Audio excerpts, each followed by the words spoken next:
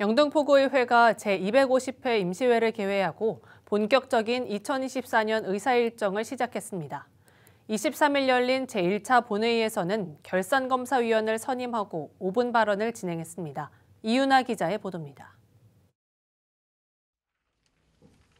제250회 임시회가 열린 회기 첫날 제1차 본회의에서는 사무국장의 보고를 시작으로 2023 회계연도 결산검사위원 선임의 건 등 안건을 심사했습니다. 정선희 의장은 개회사를 통해 안건 심의가 원활히 이루어질 수 있도록 동료 의원 및 집행부의 적극적인 협조를 당부했습니다.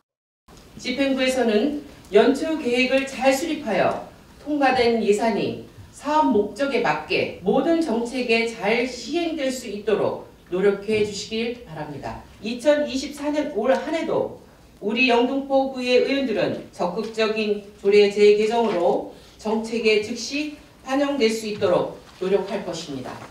이어 이규선, 임원호, 유승용, 이순우, 이해찬 등 5명의 의원이 5분 발언에 나섰습니다. 이규선 의원은 직원 후생복지 제고를 위한 제언에 나섰고 임원호 의원은 동주민센터 직원들의 신중한 인사를 요청했습니다.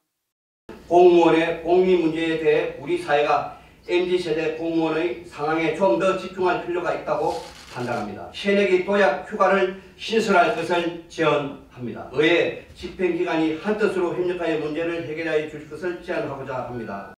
행정의 일선인 동주민센터에서 채 1년이 되기도 전에 팀장급의 인사 이동과 동장의 교체가 빈번하게 발생하고 있습니다. 이러한 인사 이동이 불가피했던 것인지 아니면 일반적인 현상이라고 보기 넘겨야 하는 것인지 묻고 싶습니다. 이어 발언에 나선 유승용 의원은 남부도로 사업소의 조속 이전을 촉구했습니다. 남부도로 사업소 이전은 세워지는 건물은 실용부부 임대주택으로 개발도 검토해야만 할 것이고 만일 공공개발에 한계가 있다면 민간 기업에 매각하거나 민간 SOC 자본을 유치하여 지역의 랜드마크를 만들어야 할 것이라고 촉구하고 싶습니다. 또 필수 업무 종사자에 대한 지원 강화를 피력한 이순 의원과 구청장의 공적 발언에 대한 검증이 필요하다는 이해찬 의원의 발언도 이어졌습니다. 우리 구 필수 업무 종사자의 인원, 성별, 고용 형태, 임금 수준 등을 파악하여 향후 필수 업무 종사자 관련 사업에 반영해야 합니다. 필수 업무 종사자의 임금 가이드라인을 마련하여 동일 임금 지급이 될 수 있도록 해야 합니다.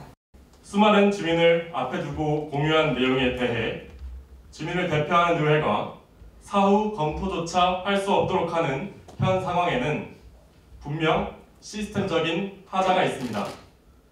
이에 대해 명확한 견해를 밝히고 함께 대응해 나가기를 바랍니다.